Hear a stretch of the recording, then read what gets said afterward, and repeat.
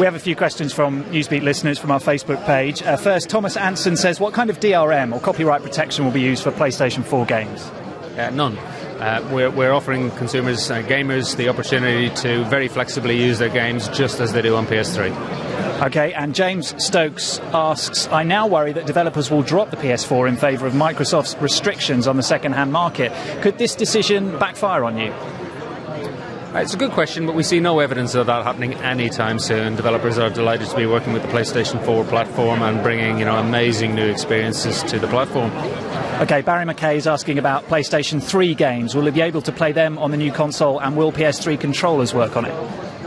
I'm afraid you will not be able to play PS3 games on PS4 anytime soon. We will introduce a cloud gaming service later that will allow those old PS3 games to be played on PS4. And the DualShock 3, which is the controller for PlayStation 3, will not be compatible with PlayStation 4. However, the Move controller will be.